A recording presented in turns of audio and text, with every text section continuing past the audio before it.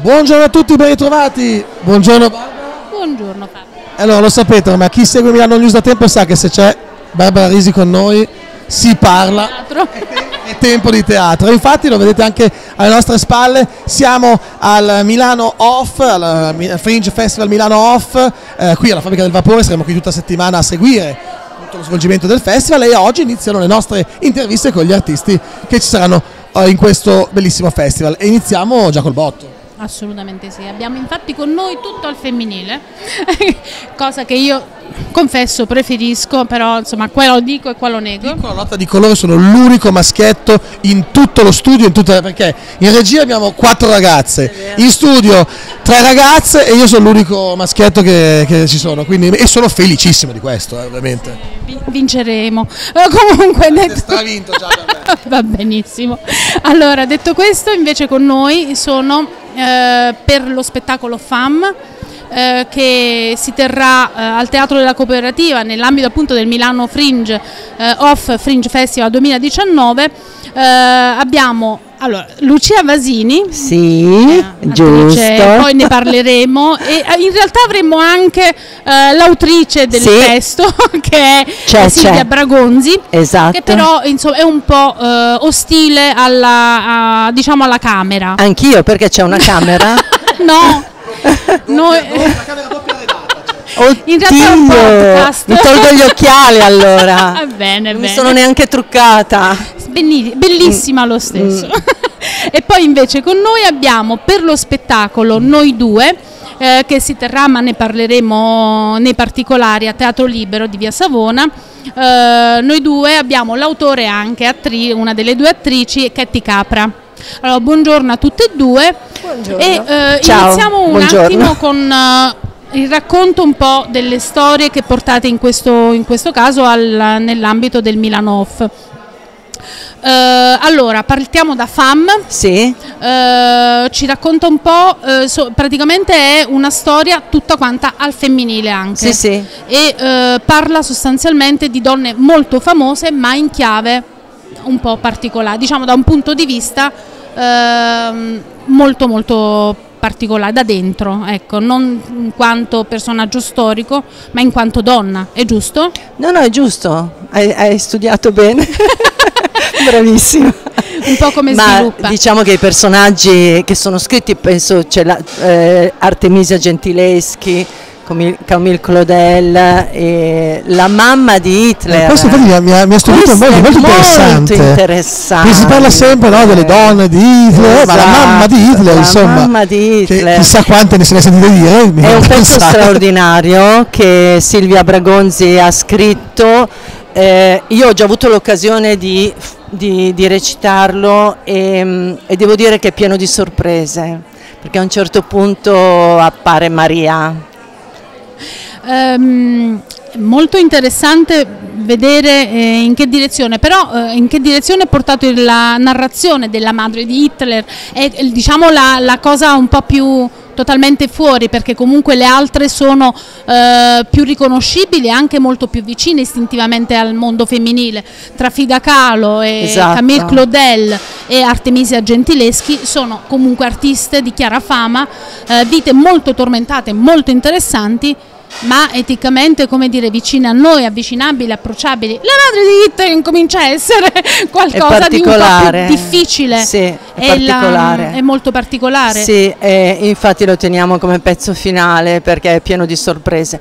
Ma la cosa interessante anche è, ehm, diciamo, il cantante Diego Bragonzi che è ancora a Parigi, che, è un- che lui riuscirà a, tenere come un fil rouge tra tutte le donne attraverso delle arie famosissime, anche arie femminili, cioè perché lui è- riesce anche a cantare, che è difficilissimo per... eh, Eh, diciamolo, Un cantante lirico. ma andremo ancora più nel particolare. Le musiche, eh, diciamo, sono state scelte, sono state selezionate musiche di Purcell, Barber, Schubert e Violeta Parra. ecco, Eh, Ecco. Che è una delle mie viscerali preferite bene, in assoluto e non vedo l'ora assolutamente di vedere perché è un non riesco a immaginare onestamente come vengono intessute Eh quindi sì, sì, eh, eh, un, um, noi amiamo questo tipo di spettacoli dove ci sono delle contaminazioni, un po' come il DJ quando, eh, allora, quando fa un arrangiamento in diretta. Eh beh, direi. Allora, siamo un attimo sugli spettacoli e passiamo, e poi andiamo nei particolari sì, nei sì, vostri... Figurati. Allora, eh, dunque, noi due, sì. eh, con noi Catty Capra, che è sia l'autore insieme, diciamo, l'autore del libro, perché tutto ciò è partito da un libro.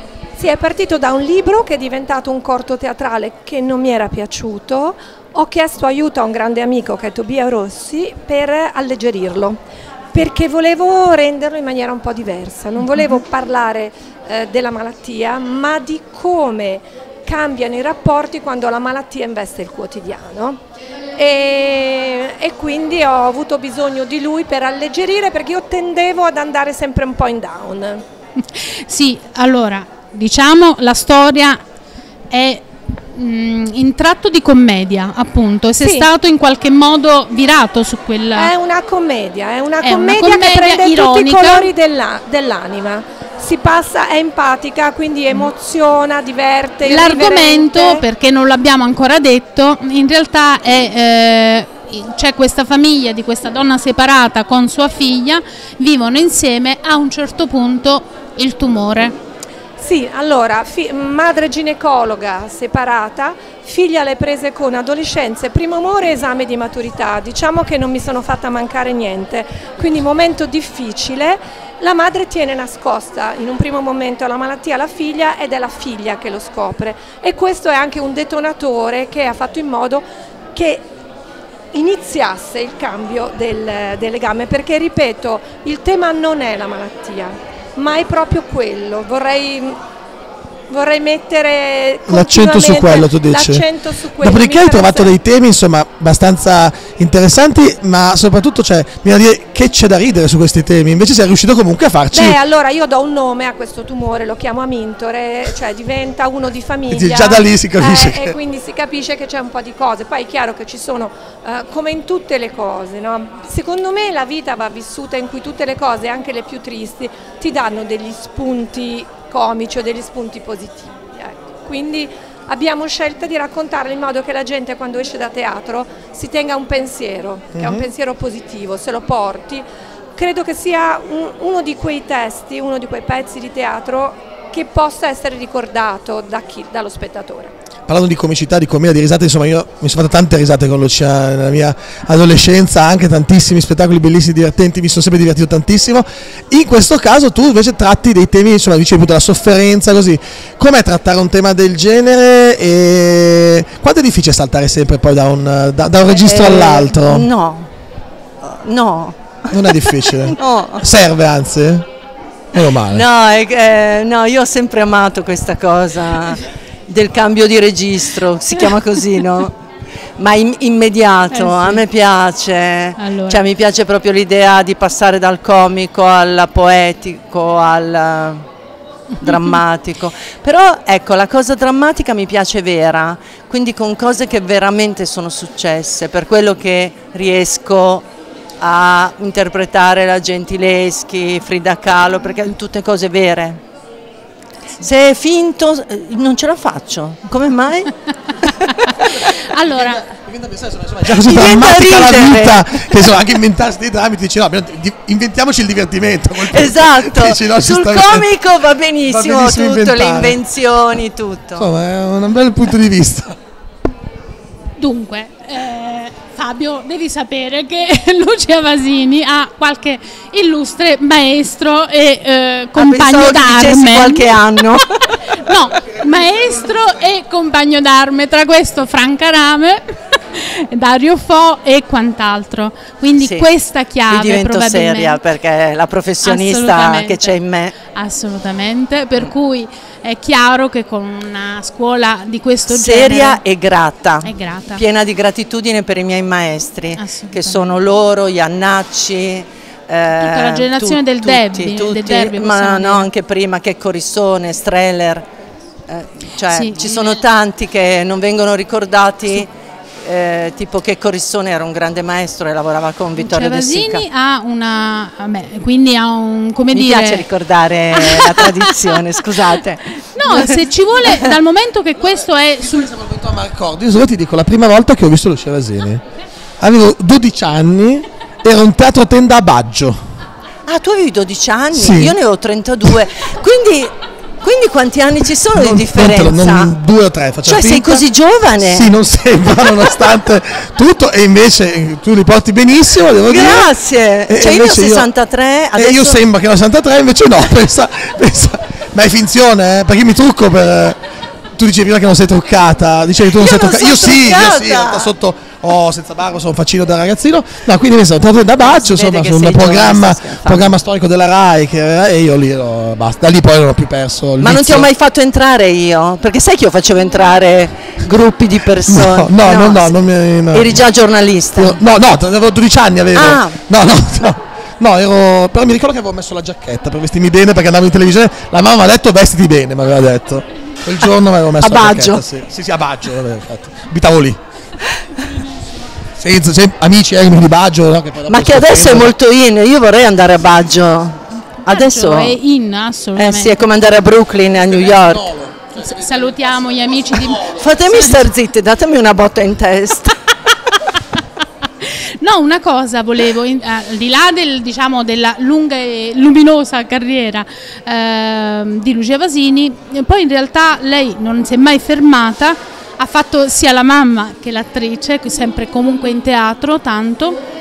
eh, fin- e, e ha intrecciato il suo cammino con l'associazione di cui fa parte anche l'autrice di questo testo che è FAM, che è Silvia Bragonzi, che ha sede a Parigi, è un'associazione che si chiama Bertrand Gruss, Centre de Théâtre, e eh, affronta praticamente tantissimi temi al femminile e in più fa anche del, diciamo, sia a Parigi ma anche a Milano tantissime anche azioni sul sociale riguardo al femminile. Ce ne può parlare un po' come avete, insomma, in qualche modo voi fate sia la parte artistica, quindi intesete teatro, eh, spettacoli teatrali e quant'altro, ma andate anche a lavorare sul sociale. Sì, eh, ecco di questo io non me la sento di parlartene perché più che altro è il presidente eh, Diego Bragonzi, è lui che è a Parigi, io e Silvia sono a Parigi, ma io sono a Milano e andrò a Parigi dopodomani. E cominciamo eh, assieme a fare una serie di progetti, però i progetti so che sono sempre finalizzati, sono sempre per aiutare, quindi aiutare i bambini, eh, borse di studio per le donne, quindi è- poi la Francia sembra che funzioni molto bene in questo senso, nel senso che tu ti puoi dedicare veramente, spero che succeda anche qua a Milano con Beppe Sala. Assolutamente. Eh, Poi parliamo... Però mi sembra che questo spazio stia dando dei frutti, no? la fabbrica sì, del sì, vapore. Eh. Allora, eh, restiamo poi, voglio, eh, torniamo un po' dopo eh, su Milano Off e perché Milano Off, però andiamo un attimo con eh, Ketty Capra e andiamo un po' a vedere il suo percorso invece. Eh, Ketty Capra è, allora, è un'attrice, Sì. eh, però è anche autrice, scrive soprattutto libri. No, no, io scrivo soprattutto testi teatrali. E Però anche basati noi sul- due, no, no, non basati, quello che mi viene in mente. Ah, ok, vabbè. Eh, diciamo che eh, noi due, Mhm. eh, si dice che nasce da un libro, ma è un libro che io ho regalato a mia figlia, Sì. non è un libro che è stato pubblicato. Io sono autrice anche di antologie e di altre cose, ma questo è un discorso proprio, io quando scrivo per il teatro si scrive in un modo totalmente diverso. E, mm, ho scritto un, un altro testo sul femminicidio che si chiama Lentamente ci uccidono, dei monologhi che sono sulla Shoah, altre cose, ma mi piace eh, scrivere. Quindi io scrivo, ma mi viene in mente di scrivere una poesia mentre sono fuori a portare il cane, la scrivo. È così, mi, mi- mi nasce. Cioè, no, no, io la scrivo sul- sugli appunti delle note del, de- del- del telefono. Cioè, sono in spiaggia, vedo una cosa, scrivo, quindi quello è quello che faccio. L'argomentazione comunque è sempre al eh, teatro al femminile. Ma diciamo di sì, teatro al femminile lentamente ci uccidono, femminicidio è. Ecco, direi di sì. Ecco. Ehm, la compagnia, allora, vedo che è stato un po' il, eh, il primo approccio a mettere su un'associazione con eh, performer Allora, sì, io vengo da altri percorsi teatrali. Dall'anno uh-huh. scorso ho creato un'associazione culturale esatto. eh, dove pensiamo di proporre quasi sempre, facciamo due percorsi diversi. Uno è quello degli inediti e quindi vediamo noi due. L'altro invece è il percorso di rivisitazione in chiave comica di classici. L'abbiamo fatto con delitti e psicofarmaci partendo dai fisici di Duremath quindi sono due percorsi un po' diversi ma che si con convergono nella stessa associazione. Sempre punti di partenza semplici ti, piacciono comunque, vedo, no, diciamo noto che, un fil rouge. Eh. Diciamo che mi piace fare delle cose che mi mettono alla prova, che mi interessano, che mi coinvolgono, anche questa prova di noi due è molto difficile dal punto di vista attoriale perché siamo io e mia figlia che è veramente mia figlia, in scena ah. con due personaggi che sono diametralmente opposti a quello che siamo noi nella vita. E fa di questo perché verrebbe da pensare appunto che è autobiografico, appunto, no. e invece per niente, quindi voi andate a interpretare dei personaggi che non siete voi, ma che in realtà siete voi perché comunque siete veramente madre e figlia, quindi è complicato da quel punto di sì, vista. Sì, è complicato, abbiamo dovuto creare diciamo, un muro e ricrearci, di questo ringrazio Paola Giacometti, la mia regista, che ci ha diretto molto bene, ma è, è bello mettersi alla prova, no? perché se, se, no ti piace vincere facile. Prima di passare alle cose serie, il cane è maschio o femmina, giusto per capire, visto che stiamo parlando tutto al femminile? Il mio cane è una femmina, Giustamente, ok, ok, no, ci, ten- ci, tenevo, scusa, ci tenevo Anche a rimanere... La gatta è femmina. Ci tenevo a rimanere Però in, in noi due ignoranza. ho messo un gatto maschio che ho chiamato Totonno, che oh, era un gatto che avevo Totonno, tanti anni fa. Ok, prego. Eh. Allora, eh, veniamo un po' a Milano Off, eh, siete appena arrivate, quindi insomma ancora forse non vi siete un po' accorte di cosa, come si muove questo festival. Però ecco, a Lucia Vasini posso sicuramente chiedere se, eh, se ha visto lungo la sua lunga carriera cambiamento all'interno della produzione e della distribuzione teatrale se, se cosa in cosa è cambiato secondo lei, eh, dove è possibile insomma, in qualche modo mirare con questo tipo di azioni con i Fringe Festival, eh, Milano Off è partito da uh, Festival Off per poi arrivare a diventare Festival Fringe che è un po' un concetto diverso. Un po' meno off ma un po' più fringe. Esatto, fringe, un po' questo tipo di operazione. Di fringe? È una Francia, praticamente è nato dagli uh, esclusi di un festival molto eh, prestigioso. È un po' il fuori farò, salone. To. Sì, ho capito, avevo partecipato a Napoli. Esatto. Ah, avevo partecipato a Napoli, mi ricordo, come regista di uno spettacolo di Carolina. Sì, ricordiamo appunto che il Fringe nasce appunto a Edimburgo come frangia di un festival molto, che all'epoca era molto più importante, gli esclusi decidono di ritrovarsi in, all'epoca quattro gatti, adesso fanno 150 rappresentazioni al giorno Bellissimo. durante sì, sì, dal 1947 meraviglioso poi... Edimburgo, quindi insomma eh, qui ci sono anche i rappresentanti del Fringe Festival di Avignone che sono qua proprio dietro di noi, anzi io invito un attimo la regia a staccare sul totale per far vedere dietro di noi quello che avviene bene eh, sono questi famosi speed date. Ma magari ci racconti un po' come, come sono questi speed date. Hai fatto lo speed date questa sì, mattina, vero? Sì, sì, l'ho appena Mi concluso. sapere, cioè, non si cerca fidanzato, non si cerca fidanzata, ma si cerca, anzi, pe- peggio, compagni, posti si dove, dove una portare. casa per i propri testi. Capito? Diciamo. Altro che film domestiche vi porta i, Vabbè, i, sì. una casa, cioè è una cosa, ma molto interessante. Come funziona? Come è andata? Funziona che hai 5 minuti per raccontare, per farli innamorare del tuo testo e di quello che hai fatto. Quindi racconti in maniera essenziale.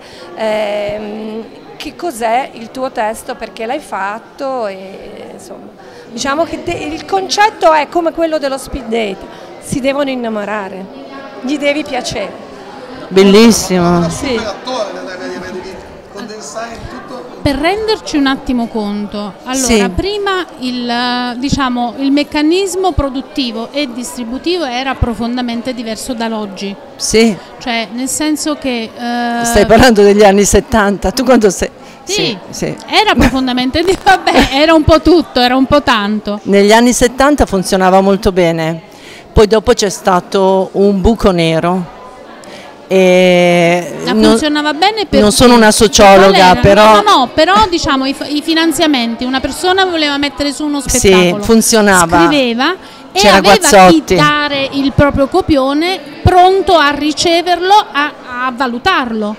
Era così. E Barbara, sì, funzionava tutto nel fine anni 70, per un po' ha funzionato. Sì, diciamo, eh, c'era qualcuno che vedeva se era secondo la sua opinione valido o meno c'era una selezione per qualità in qualche modo. tu potevi creare una compagnia teatrale e avevi finanziamenti in un attimo, cioè, infatti noi ne abbiamo fatte due o tre a quei tempi, avevo vent'anni, perché appunto c'era stata una specie di rivoluzione organizzativa con Guazzotti, con Giorgio Guazzotti, però poi tutto è cascato. Io non so se è stata la storia degli anni Ottanta la, la televisione o semplicemente un uh, establishment che c'era eh, politico che ha, però di fatto adesso io sono felicissima di questa nuova ondata perché sento che, che ci sia che, che sì, sta per uh, succedere qualcosa. Allora, I grandi italiani sono ancora quelli di quell'epoca là Mm. Cioè i grandissimi eh, attualmente, grandissimi parlo, cioè mm. non, non, se ne vedono, o meglio, si possono intravedere in qualche personalità. Beh, un Dario Fai un Iannacci non ci sono. Ma non c'è un meccanismo che produce eccellenza. Ma sì, comunque io non sono convinta di questo, io vedo invece tanta eccellenza in giro, cioè mm. i giovani, cioè io cerco sempre di imparare dai giovani non riescono a uscire, è, è, è giusto. Non hanno le possibilità. E, escono con i video, escono con altre forme che non è solo il teatro. Parliamo e... un po' anche perché lei, al di là di essere chi è, è anche. No, no, non oh, dire. no, no. no. No, no, adesso poi dico... madre d'artista oltre ah, sì. figlio d'artista. Ah sì, madre, madre, madre di youtuber, mi viene da dire, non lo so, no, hanno youtuber. Ah no. Ah, ah, questa non la sapevo, si poteva dire? Terzo segreto di satira. Eh, sì, sì, sono Davide e suo figlio. Sì, sì, eh, sì. Appunto, è interessante appunto questa visione, che tu l'hai vista anche proprio bene da, da vicino, sì. come appunto forse questa fa- favola che in realtà bastava mettersi su YouTube e uscire non è proprio così poi perché comunque appunto non è poi così semplice. No, non, non è, semplice, devi avere... Cosa, cioè devi avere de, de, dei talenti, ma è chiaro, cioè, tutti lo possono fare, poi alla fine devi creare qualcosa che fa la differenza. Si è un po' avvicinata tramite suo figlio anche a questa nuova metodologia in qualche modo per uscire? Sì, sì, sì, no, assolutamente sembra? sì, cioè, io, a parte che io, a me piace proprio um, la camera da presa, mi mm-hmm. piace questo linguaggio, mm-hmm. eh, però il teatro io, io, lo sto osservando in questo momento, sono in fase di osservazione. cioè, i classici, ok, però sono in fase di osservazione per tutti i gruppi contemporanei, cioè giovani.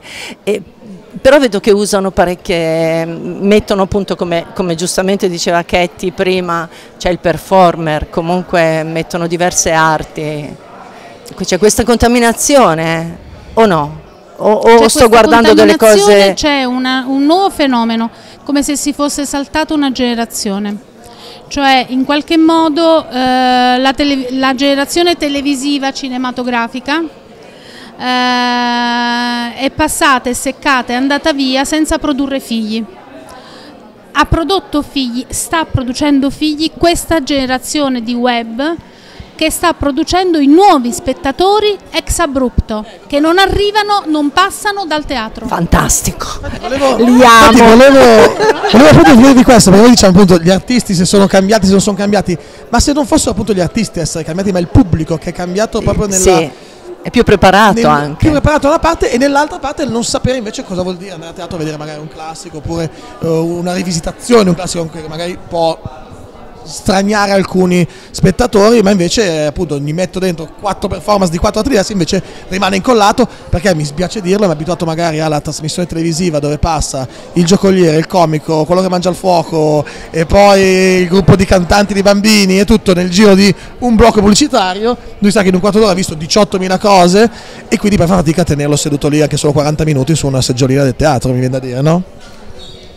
Invece ehm, un po' il suo, il, quello che ha potuto vedere dal suo punto di vista riguardo il, il, meccanismo, perché già ha fatto lo speed date, forse un po' è, è riuscita a entrare eh, dentro questo meccanismo. Secondo lei questa tipologia di festival eh, fringe può, è interessante, può portare, quali possono essere gli sviluppi? Ah, sicuramente è interessante perché è palco, è come se Milano ah, fosse in questi sei giorni un palcoscenico aperto, gli spettacoli sono tanti, andiamo in scena tutte le ore, dalle 5 e mezza, 7 e mezza, 9 e mezza, quindi magari riusciamo anche a prendere qualcuno che mediamente la sera non esce, tanto per fare un esempio, ma da parte del, del, festival, degli organizzatori, della direttrice artistica, di Renato, di Francesca, c'è veramente mm, tanta voglia di, di, far teatro, di far rinascere teatro, di far vedere belle cose. Francesca dice sempre ne ho viste tante prima di selezionare e ha selezionato secondo me con, con grande cura e credo che sì, che aiuti il teatro questa cosa. Il problema è che del teatro parlano pochi. La televisione, tanti anni fa, si parlava degli anni 70-80, il teatro c'era in televisione. Sì. Ora non c'è praticamente Però adesso più. abbiamo i nostri social, quindi chiunque stia vedendo eh, nostra, questo nostro appello, eh, gli dici tu gli orari degli spettacoli? Uh, sei, imprepara sei impreparato? A che serve? No, sulla pagina. Allora, partiamo da noi due, noi due che va in scena al Teatro Libero, via Savona 10. Eh, allora, oggi, è, no, oggi, non va in scena. Domani. Oggi mercoledì. non va in scena, quindi state tranquilli, potete rilassarvi. Poi c'è mercoledì 18 alle 17.30. No, Giovedì 19 alle 19.30, venerdì alle 21.30, sabato alle 17.30 e domenica alle 19.30. Mi dicevo molto interessante questa cosa che si cambia orario così che ci si cerca di intercettare tutti i pubblici possibili. Poi FAM, non ho detto che si chiama FEM, invece FAM, avete, avete, insegnato qualcosa anche di nuovo, uh, invece, uh, sì, no, sì, mi avete insegnato il francese, mi avete insegnato, lo sapevo, quindi sono poliglotta di italiano e basta. Uh, al, invece che è uno spettacolo ospite al Teatro della Cooperativa e mh, mm, devo fanno parte della rete di questo off, lo trovate invece in scena mercoledì 18 alle 21.30. Ovviamente, ma anche gli altri non, si può perdere niente. Cioè, dovete, dovete, fare l'abbonamento, che potete andare sul sito, potete fare anche l'abbonamento, lo dico così Renato Lombardo è contento, lo dico, andate sul sito. Quindi non, non avete non, non, avete modo di dovete andare quella sera lì. Non è che do, do, vado, vado, domani. No vai quella An- sera anch'io lì domani devo andare. qualcos'altro anch'io devo andare Dici, quella sera. andare, eh sì magari arriva un po' prima tu se riesci.